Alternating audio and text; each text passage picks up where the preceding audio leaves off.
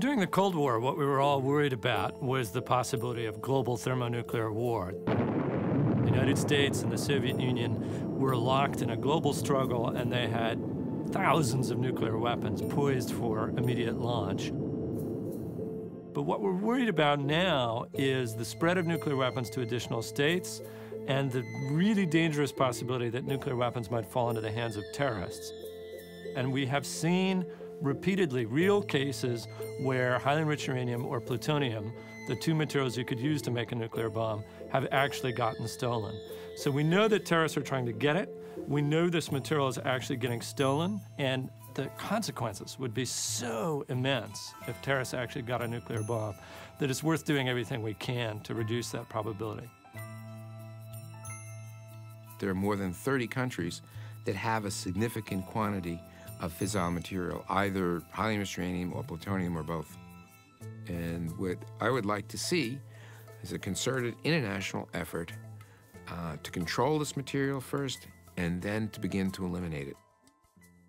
A key element that's really missing from global efforts to secure vulnerable nuclear materials is that there is no global consensus on what matters and how much. Specifically, what matters for material security? What steps should states be taking to ensure that weapons usable materials are appropriately secured? And then also, what are the priorities amongst those? The NTI Nuclear Materials Security Index provides a range of recommendations of what countries can do collectively and individually to secure weapons usable nuclear materials.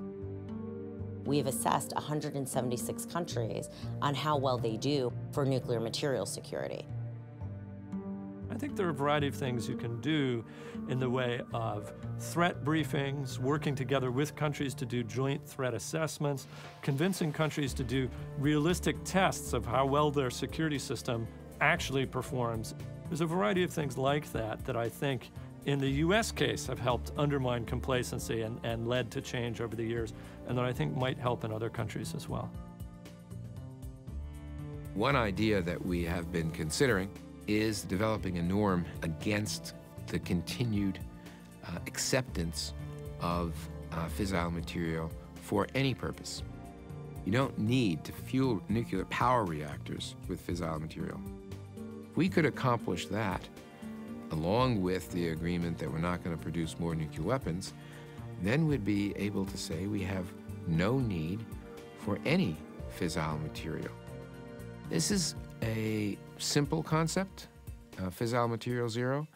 Uh, it would require a lot of work in the international community, but our initial look at this is either a moratorium or a ban uh, tells us that it's worth uh, thinking further about.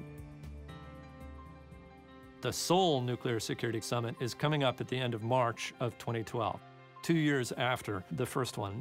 What the Nuclear Security Summit process has done is given us sort of a new tool to raise the discussion to a higher political level and overcome some of the barriers and obstacles.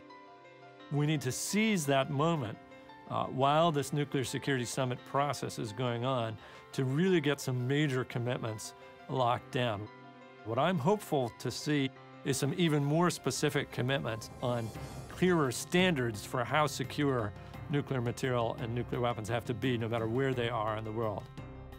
At the end of the day, we want to have less rather than more material, and we want the material that's there to be fully secured, and we want there to be no additional material produced.